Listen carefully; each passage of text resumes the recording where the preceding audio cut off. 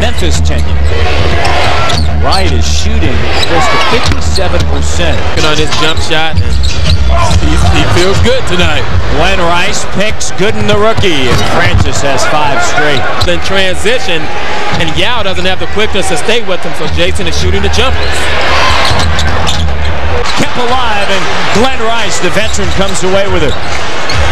Started, of course, his career in Miami, went to Charlotte, now in Houston. A tough situation And so he went ahead he fouled him hard enough so that Ming up top, here's Mobley. Francis left alone. You can't do that. Swift tries to recover. He does, but Francis of the game. There's been 11 times. How about that? Getting away from the long, lean, athletic play. Closer to home, Maryland. You can certainly understand that. Wasn't a hard foul. Here's an and one situation. Happened on a couple of different occasions. One from downtown. There's Francis. Rises up, shoots, and he makes it for the. Steve Francis just missing the two free throws on a couple of possessions ago. Comes back, just drains it all net. Powell couldn't get to him quick enough.